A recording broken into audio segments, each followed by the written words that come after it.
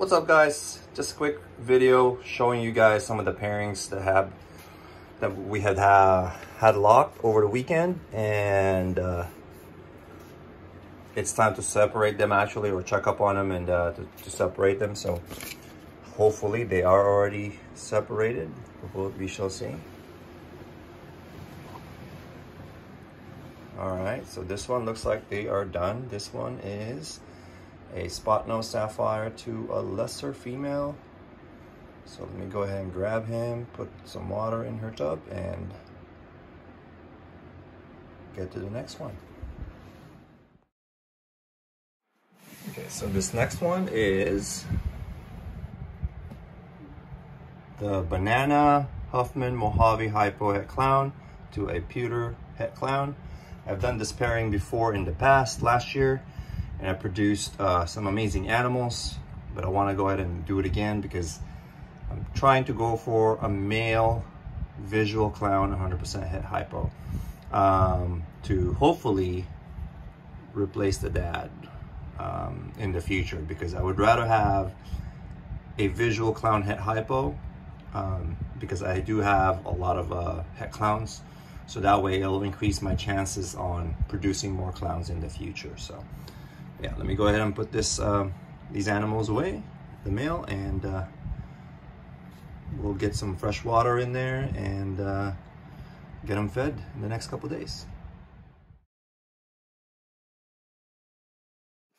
Okay, so this next one is a G-stripe to, it's a pastel lesser G-stripe female and uh, to a lesser Huffman banana het G-stripe. So trying to produce more G-stripes here. So let me go ahead and put their, separate them, put some water, and make sure that the tub is clean.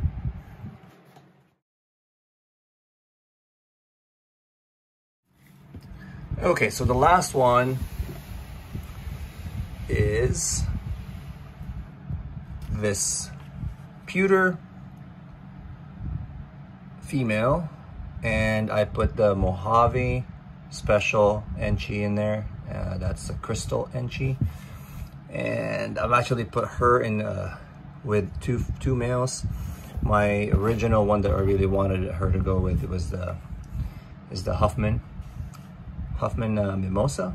So this is kind of an intermittent, in, in between kind of pairing, kind of a, maybe get a double clutch or a double sire clutch.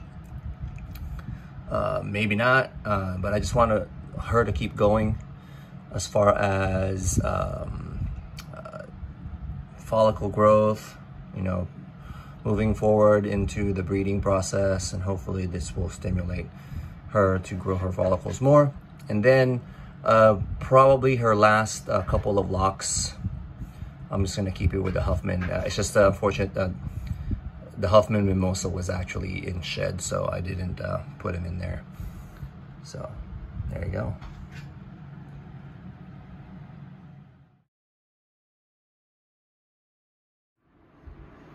Okay, so for those maybe wondering what I'm doing, uh, my process uh, when I pair, I usually take out the water out. Um, I, I, I, leave the water bowl, but I empty the water out.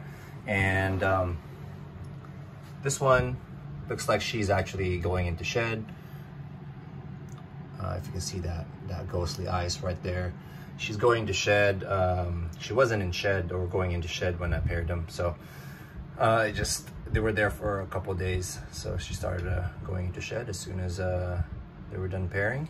So I misted the, the tub to make sure that there's enough humidity in there uh, so that she can have a good full shed. And hopefully it's a good sign. She has been eating a lot and she's always been kind of a mean and nasty, but that's okay. That means they just eat well. But yeah, there you go. That's pretty much it as far as how I pair.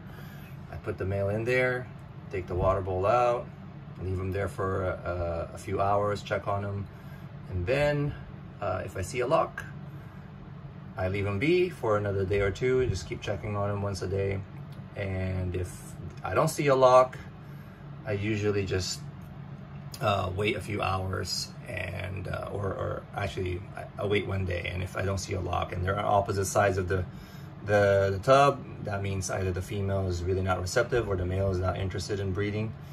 Uh, uh so what I do is I just uh, take the male out uh, instead of getting stressed out I just put him back in his tub and I leave the female be. So yeah this girl caught that yawn there. So all right, guys, if you guys have any questions on breeding, pairing, you know, feel free to comment down below your questions. Would love to answer any of them. Um, uh, for anyone that's interested in any animals available, also, you can just directly message me uh, on Instagram, Facebook, or text message me, or also comment down below. So appreciate you guys' support. If you guys haven't done so, please hit that like. Uh, if you guys enjoyed and uh, this this video has somewhat given you some information to help you in your project.